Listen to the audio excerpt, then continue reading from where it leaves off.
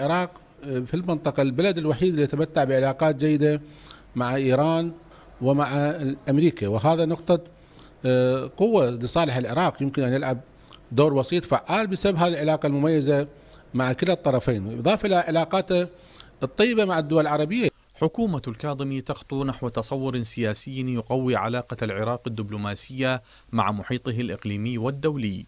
ما يعزز دورها كلاعب رئيسي في المنطقة بالإفادة من العناصر الجيوسياسية وأهمية إبعاد منطقة المصالح المشتركة عن الصراعات وانعكاساتها. السلبية. الحاجة الدولية إلى الأراضي العراقية في في كثير من المصالح.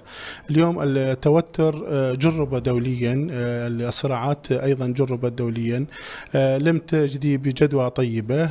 يعني أعتقد أنه الوقت الحاضر هو ربما قد تكون نقطة بداية على المستوى الدولي انطلاقا من الأراضي العراقية أو من دور الحكومة العراقية. وهنا يجري الحديث عن تصاعد التطورات الإقليمية والدولية. ما يتطلب وضوح السياسة الخارجية العراقية والعمل وفق الثوابت الوطنية ما يكفل بالنتيجة صناعة موقف إقليمي متفرد تستثمره بغداد بتأمين موارد تطوير البنية التحتية والتنمية المستدامة. تخفيف حدة التوتر أو تقريب وجهات النظر بين واشنطن وطهران.